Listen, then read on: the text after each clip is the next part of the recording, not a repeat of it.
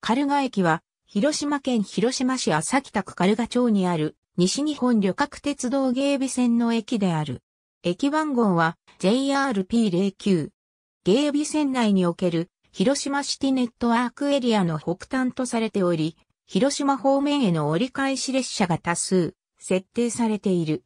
また、同線で愛子か等の交通系 IC カードが利用できるのも当駅までで、当駅から三樹方面へ向かう際には IC カードの利用ができない。復旧した第一三笹川橋梁島式ホーム一面二線を持ち列車の交換ができる地上駅である。駅舎からは構内踏切を渡ってプラットフォームに向かう。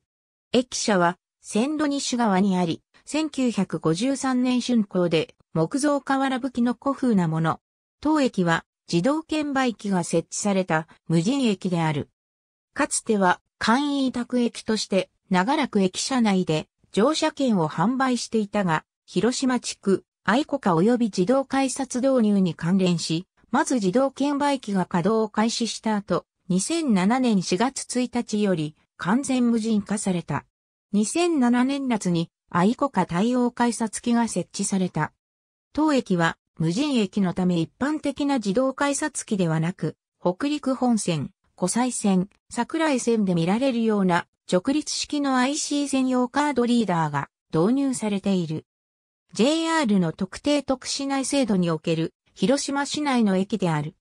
2018年3月5日、長らく男女共用の組取り、便所が男女別の推薦式便所にリニューアルされた。以下の情報は、広島市統計省及び広島市政要欄に基づいたデータである。以上の1日平均乗車人員は、乗車数と降車数が同じであると仮定し、年度埋総数を365で割った後で、さらに2で割った値を小数点第2位で死者誤入、小数点1位の値にしたものである。ありがとうございます。